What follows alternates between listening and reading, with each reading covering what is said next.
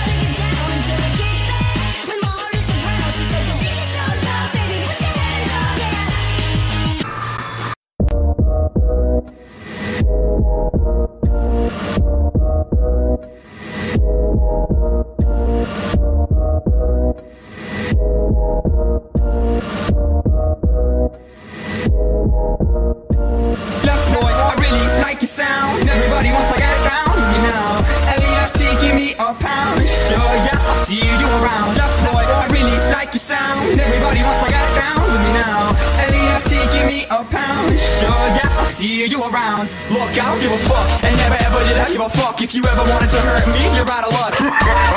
My style is impossible. Every single syllable I spit is unstoppable. I'm the dopest thing that ever come from where I'm from, and if you disagree, then you're dumb. Put some left boy dope in your diet, and if you haven't tried it, then just stay quiet. Shh. What's that noise that comes through the wall from the next door apartment?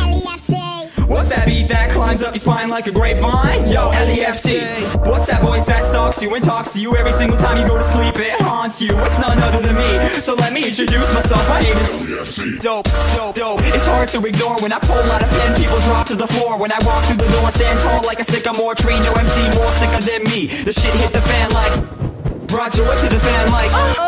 Now everyone who thought I wouldn't come through Comes through, they all wanna get a piece of when it comes to. Boy, I really like your sound Everybody wants to get down with me now.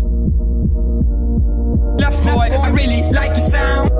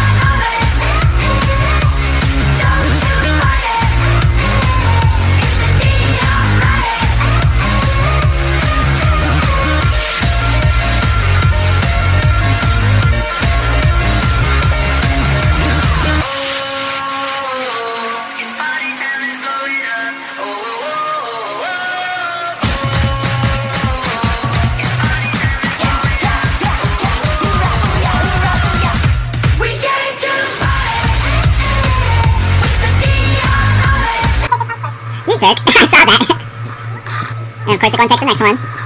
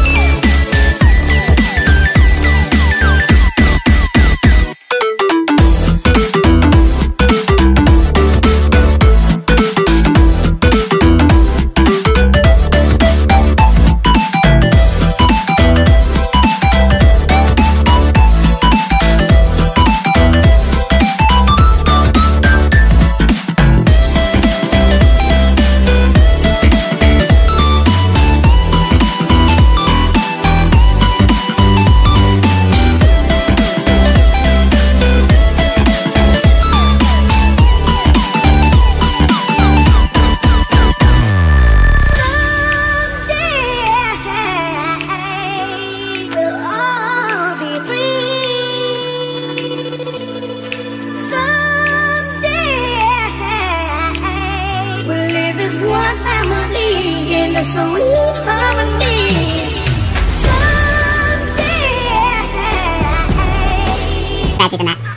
forever. Hey guys, it's DasGute14, and I hope you've been enjoying this video. Sorry that the end of the songs kept on cutting out, but I honestly just don't even know why I did that.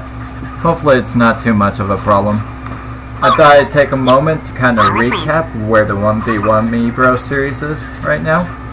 So we have three episodes out, including this one, making a tie with me and Starsun that we're going to be breaking in the next 1v1 Me Bro. We have a loss to do that Snipe Killer, and I'll let you figure out the results to this one yourself at the end of the video.